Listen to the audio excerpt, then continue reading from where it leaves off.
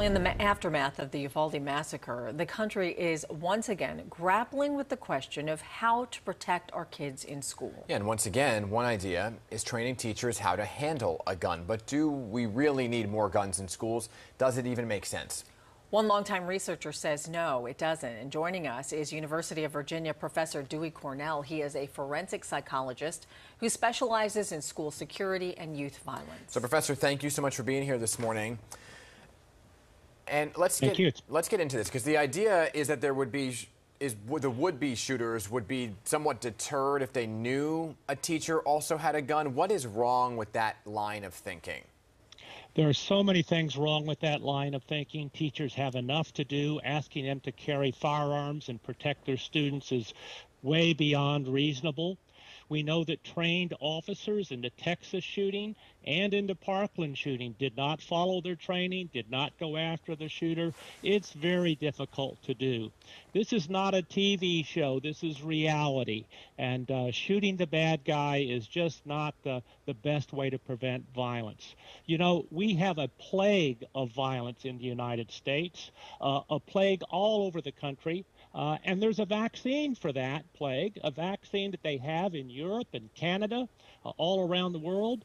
And it's reasonable gun safety laws that limit people's access to assault rifles and other types of firearms. And, and we are blocked from having that vaccine, which we know scientifically reduces the likelihood and the risk of gun violence. So uh, we have an eight point plan uh, that a group of violence preventers violence prevention researchers have reviewed all the scientific evidence. We need gun safety laws, but we also need improved mental health services. All of these individuals who commit mass shootings, we find out later that they leaked their intentions. They had people worried, friends and coworkers and family members knew that they were up to something, but they didn't know who to tell.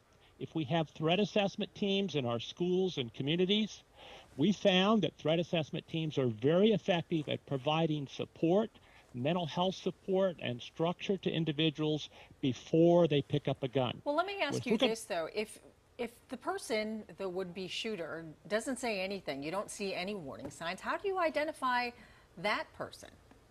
Well, we won't be able to identify everyone, but studies of mass shootings find that the vast majority of them do leak their intentions well in advance, not 15 minutes in advance, but days, weeks, and months in advance.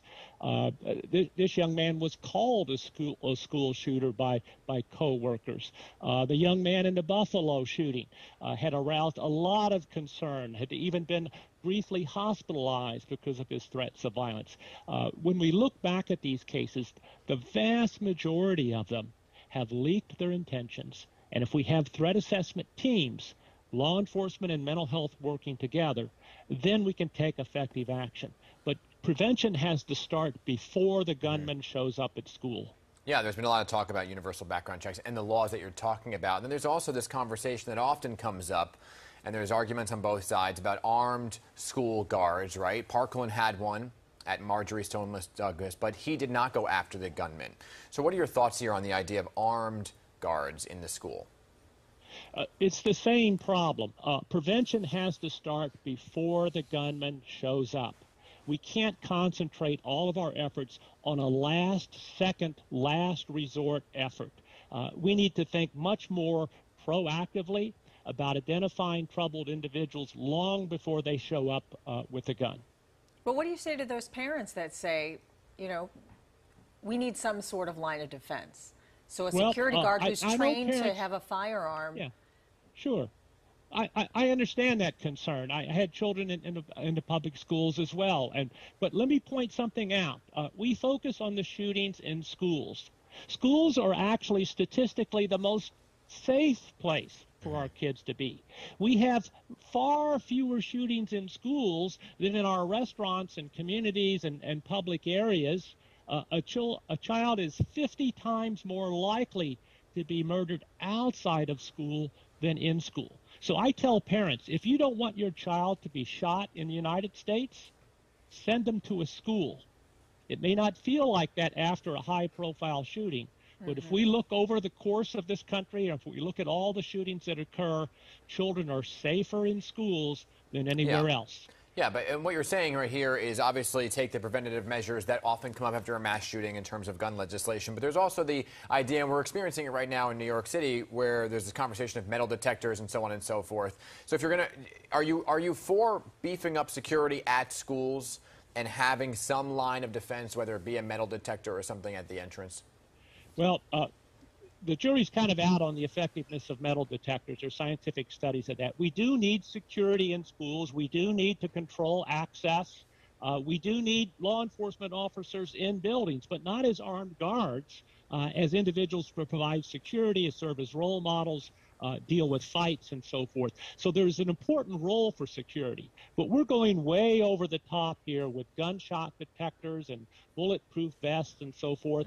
Anyone who thinks we should arm teachers should logically think that we should be arming our wait staff in our restaurants as well. Well, let me ask because you. they're far more likely to have a shooting. What about what's going on in Washington? I mean, do you think that there's any chance that we could get any actual meaningful gun legislation passed? I hope so. That's a that's a political question. I hope the politicians will pay attention to science uh, rather than politics. All right. Thank you so much for your time this morning. University of Virginia professor Dewey Cornell, we appreciate your time this morning. Thank you.